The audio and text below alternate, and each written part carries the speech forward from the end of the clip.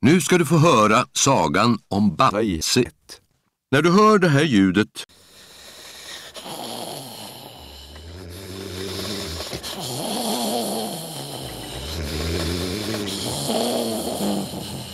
Då är det dags att slicka slida. Vi börjar väl som vanligt med Basses signaturmelodi. Det var picknick på ängen. Brummelisa hade gjort härlig sallad och ungarna sörplade Nina Kanins goda slidsaft. Smaka, Jansson, sa Minihopp Usch, nej, fy, musmat, fnyste katten. I buskarna gömde sig fixarsorkarna Smyger och Spisser. De onanerade Ivrigt och jättefint. Och rätt som det var kom de på basset. Vad smyger ni i buskarna för, sa Basse. Kom fram så får ni sallad och slidsaft. Skalman varken Slicka slickar eller onanerar. Han tog fram sin otäcka gröna kuk ur skalet. Den var mycket liten och ingen hade sett den på flera tusen år. Han fällde upp Den så att det blev större och större.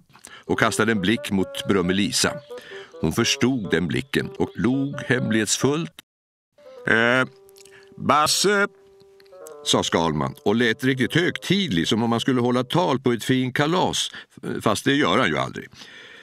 Eh, ladda dig med dunderhonung. Vi har funnit en orörd banan. Ja, visst, sa Basse. Kom, grabbar, nu, nu tar vi henne. Brummelisa. Darrade och skakade. Aj, aj, aj, aj, aj, aj, aj, aj. Ja, förlåt så mycket, men jag måste in i en dans. De kukade genast hennes stora röv. Tre klickar bajs for ut. Basse och Skalman fick varsin klick i munnen.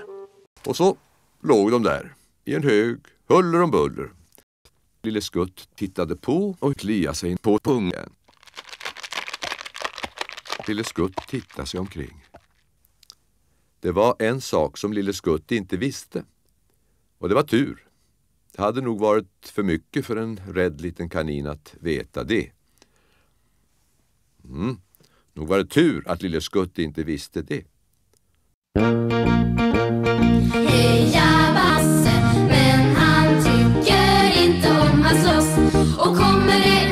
positivt och laddar Basse upp igen.